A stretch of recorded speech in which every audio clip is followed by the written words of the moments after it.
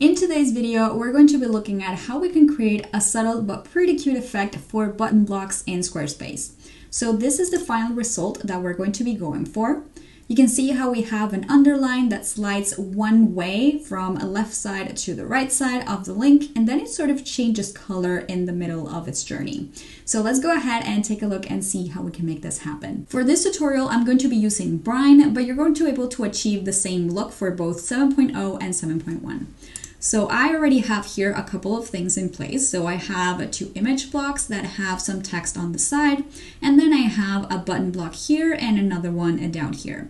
Now you're going to be able to achieve this customization for any size of button block. So you're going to be able to use the large block, the medium block, and the small block with just a little tweak inside the snippets. Another thing that I modified already here is the color for the button. So I set the background color to transparent or to white inside the site styles and I set the text of the button to pink. Now before we add that underline, I actually want to modify a little bit of the spacing that we have here on the sides because without that background color for the button, it the link looks a little bit off.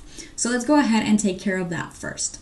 So I'm going to inspect here with my inspector tool and we're going to see which container we need to target to be able to get rid of the padding. So right off the bat, the element that I landed on has the padding for the bottom, so jackpot. This is the one that we're going to be targeting to be able to remove that extra spacing that we have on the sides. So let's go ahead and take a look at how Squarespace added that padding in the first place to see if we can use the same selector to remove it. So if we take a look on the right side over here, we can see that we have the padding up here where it says 25 pixels and 46 pixels. Now this was set under this selector here that says SQS block button and SQS block button element large. So we can definitely use this little snippet here because it's specific enough that it's for the buttons.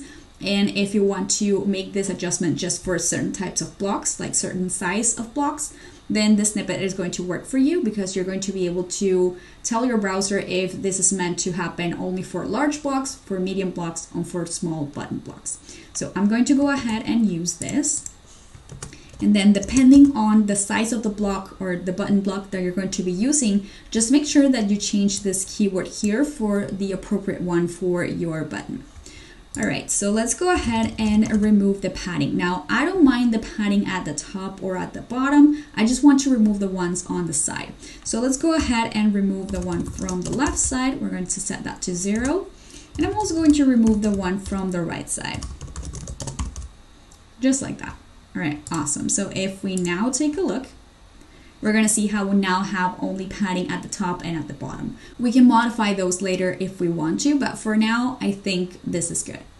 All right, let's go ahead and bring in our underline. So the way that we can achieve this customization is by having the underline as sort of like separate element. This way we're going to be able to move it, modify it, adjust it with whatever without affecting the rest of the button. So the way that we're going to bring in this underline is by using a pseudo element. Now we've tackled pseudo elements before here on the blog, but if you've never heard of them or you've never used them, basically it's just a way for you to create a fake element via CSS to add it to something else that you have on the site. So this is going to be the best approach that we can use to create the underline and create the hover effect that we're after. So the first thing that we need to do here is to find a container where we can attach that pseudo element to. Now, because we want the underline to be the same width as the text that we have inside the button, it's a good idea to find a container that already carries that width. That way, it's going to be much easier to set up our underline. Now, if we take a look at the element that we're standing on right now, we can see that this one already has the width of the text. So this is great. This is definitely an option that we can go for. But before we're 100% decided on this, let's go ahead and take a look at the parent container of this element just to see if that one could also be an option.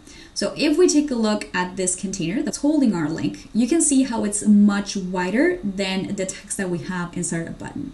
So this is definitely not a good way to go. We're just going to stay with the A element and we're going to be using this one as sort of the anchor for our pseudo element. All right, so now that we know what we're doing and on which container we're going to add that pseudo element to, let's just go ahead and target it via CSS. Now at this point, you need to decide if you want to apply this hover mode to all block sizes. So if you want to apply it to small, medium, and large button blocks, or if you want to apply it just for one particular block. If we take a look at the classes that we have here, we see one that's called SQS block button element large and another one called SQS block button element. Now the class that you pick here is going to depend on whether you want this customization to apply to all block sizes or just one particular size. Now in my case, I only want to apply this customization to large button blocks, so I'm going to be using this class over here.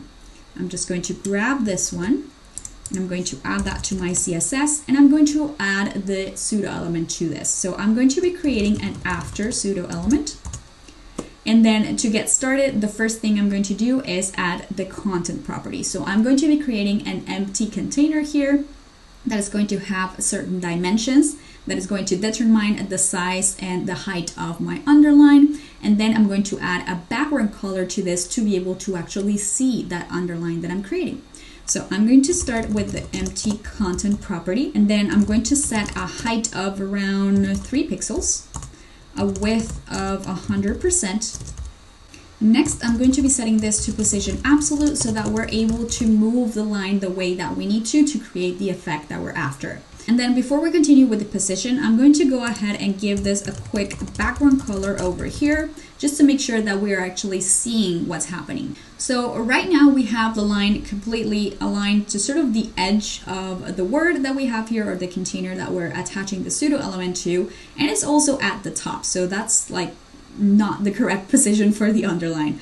Let's go ahead and move this. So I'm going to be setting the left offset to zero so that the line aligns to the left side of the container. And then I'm going to be setting the bottom as zero. So that way we're going to be able to have an actual underline and not that top line that we were having before. Now there's something weird happening here because the line is not really taking the 100% width of the container that we're attaching it to, which is much narrower than the line that we're seeing right now.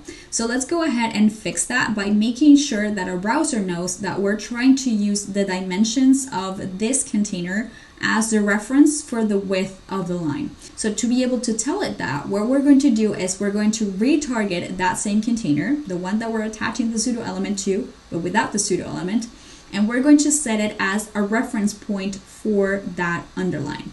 So the way that we're going to do that is by giving it a quick position relative over here.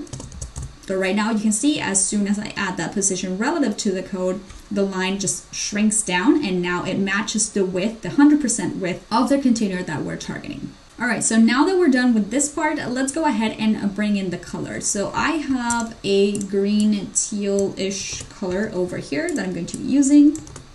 I'm actually going to set this to background color real quick. All right, so we have that green color happening and then this is going to change to pink once we go into the hover mode. Now to create our hover mode, we have to modify pretty much two things. We're to have to modify the width of the line and we're also going to modify the place where the line starts. So let me show you how this works. First, we're going to start with a width of zero. So I'm going to go back into the pseudo element that we just created to this original underline and I'm going to set the width to zero because we want the line not to be seen when it starts and then to expand out while we're on hover. We're going to start with this width of zero and then we're going to bring back that width to 100% on hover. Now I'm going to be using the same element, so the same SQS block button element large as the trigger for the hover mode. So when somebody goes over any part of this particular container, the hover mode gets activated. So this is going to be my trigger. And then once that happens, I'm going to alter the after that is also added to that same element. So I'm going to add my after over here without any spaces in between because both the trigger and the target are part of the same element. So now once we target this hover mode, what we're going to do is modify the width of that pseudo element and set it back to 100%. So now once I do this, you're gonna see how the line completely shows. Now, of course, that's a little bit too blunt, so I'm going to go ahead and add a little bit of a transition here so that we can see the movement from 0 to 100%. So I'm going to set this to all because we're going to be modifying at least two things here. And then I'm going to set a timing of around 0.4 seconds, something like that. Let's take a look. All right, awesome. So you can see if I leave it this way, it's actually a pretty cool hover mode, so you can stop the tutorial here if you like. However, I'm going to keep going. So you can see how the line goes from 0 to 100% with when I hover over any part of that container that I'm targeting.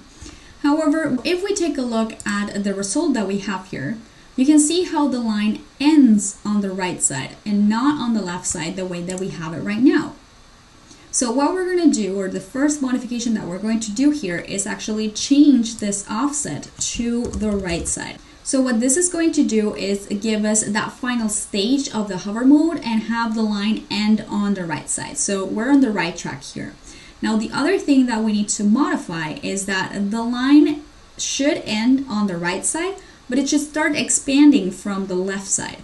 So what we're going to do is we're going to add the left offset over here. So what this is going to do is attach a line to the left side while we're on hover and make that 100% width happen from left to right. And then when we're out of the hover mode, the right side is going to kick in. So the line is going to start from this side and then the 100% is going to shrink down from the left side. And that is going to give us this final result that makes it look like the line is sort of looping through around the entire container. Now the last thing that we need to do here is basically just change the color of the line while that is happening. So the way that we're going to do that is by simply adding here a different background color. And in this case, I'm going to use the same pink that I have for the text of the buttons over here.